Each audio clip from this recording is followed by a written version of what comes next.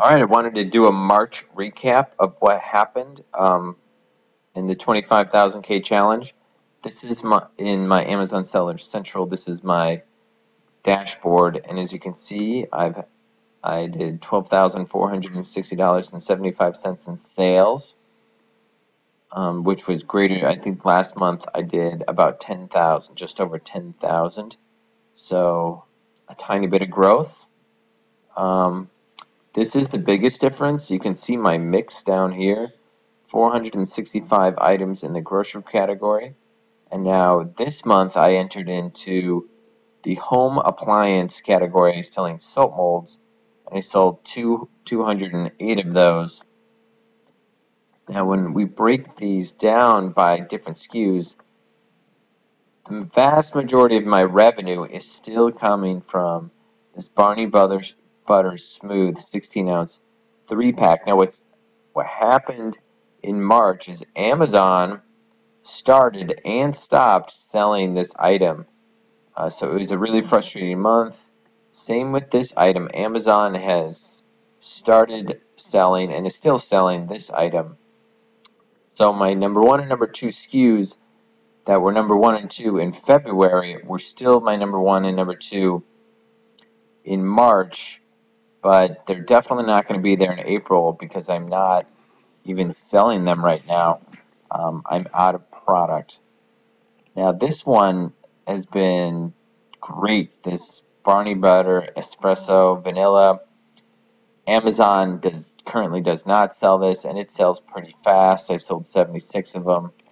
And when we and then this is another one. I have quite a bit of inventory on this Barney Butter Smooth Almond Butter my assumption is this is going to be my number one selling item for the month of April. And it, it has pretty healthy profit margins as well. Sold $703 worth of that. So here is my first soap mold. This is pretty exciting because we make quite a bit larger profit margin selling soap molds than we do um, any kind of Barney butter product. So we sold 49 six packs we make about four bucks every time we sell one of these. So even though the, the sales numbers are small, only 520 bucks, they still bring a fairly healthy profit. And then I still have some kind of random SKUs that I just kind of stocked up on inventory and I'm still selling through, like these organic dried apricots. This is a great example of how I used a variation Amazon does sell organic dried apricots, the Newman's Own kind, but they, they only sell a one pack. I'm selling a six pack, and it's selling you know fairly well. Then uh, this is another soap mold. This is a brand new one. I have 43 sales, but 40 of those were through a Snagshout campaign that I did. So I didn't make any money on those, but I've ended up selling three. So we'll see how well that does in the month of April and then you know more more of my soap mold so 27 10 packs. Once again these make a higher you know a very high profit margin.